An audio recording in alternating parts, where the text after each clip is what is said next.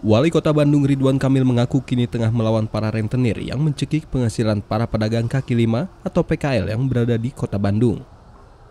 Mengatasi praktek rentenir yang menyusahkan ini, Kang Emil Sapan Akrab Ridwan Kamil mengadakan sistem kredit melati.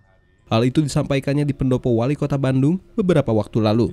Sambil ini ditertibkan, kita juga melawan rentenir karena banyak PKL-PKL warga Bandung yang tidak bisa naik kelas menjadi sejahtera karena sibuk perputaran uangnya hanya untuk menyambung hidup karena terjebak rentenir.